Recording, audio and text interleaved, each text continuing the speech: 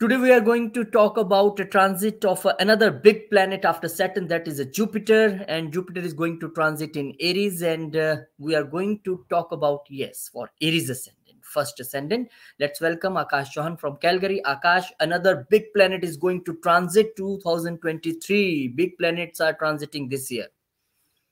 Luigi big planet is transiting and the transit is of Jupiter Dev Guru Dev Guru Brahaspati and it is the best transit ever. I will show you for Aries ascendant. Here we go. Right. Jupiter is going to transit in the first house, the ascendant, the Mesh Rashi.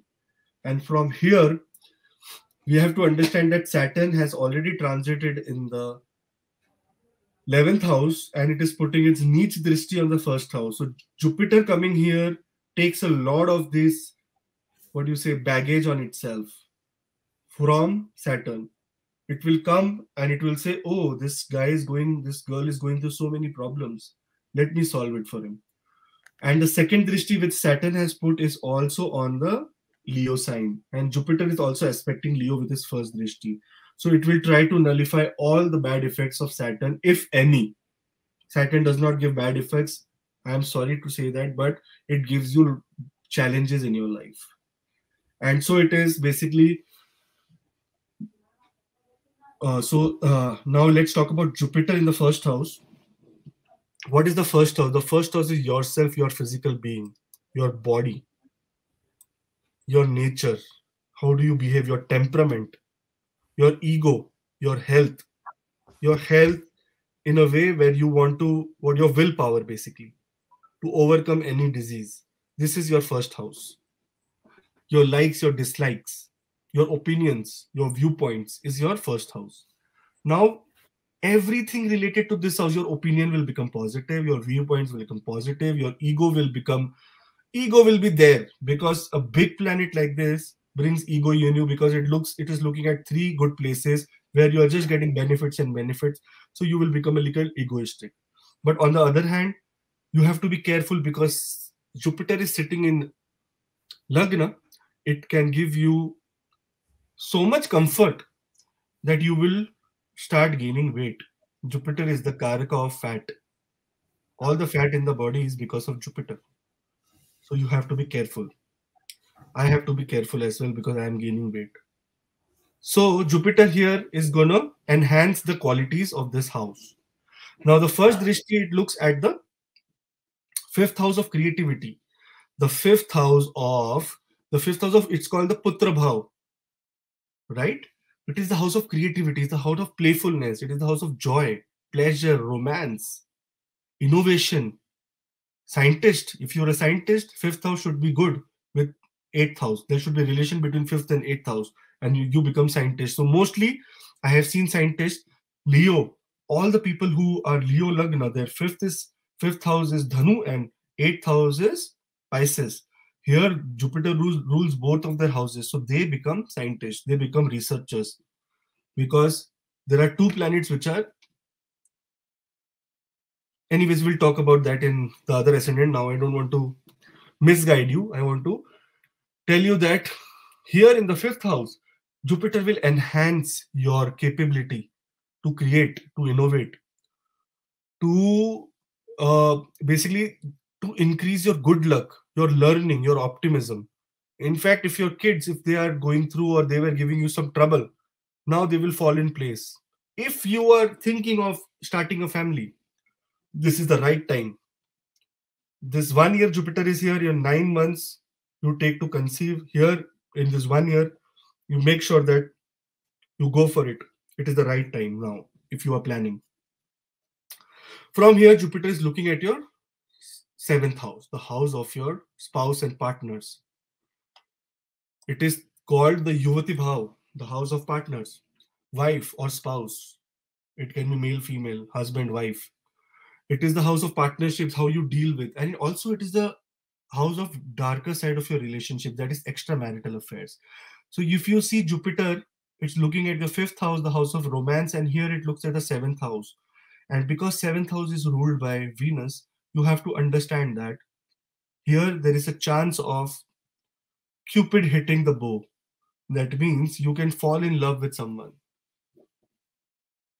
You can fall in love with some other female or male and you have to be very careful because that is the problem which venus will create and your house will be destroyed. So here you have to be very careful. Other than that you have to also make sure that your kidneys and your lumbar region your skin is good because seventh house rules all these things these body parts. From there guru is looking at the ninth house. From the first house guru is looking at the ninth house with the ninth drishti uh, with the third drishti. And what is ninth house? The ninth house is your bhagya bhav your dharmastan the house of truth the house of principles the house of dreams the house of institutions intuitions. The house of good karma house of dharma. Here now this is the time this is the right time to find a guru. If you are looking or if you are thinking that no i need some guidance i need a mentor.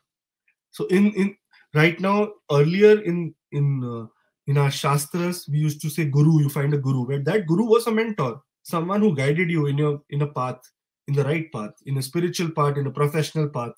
But here you need someone who will also guide you to a spiritual path your father your father like figures everyone is ruled by ninth house your good deeds charity, luck, fortune, favors, everything is ruled by the ninth house. So everything is going to be enhanced.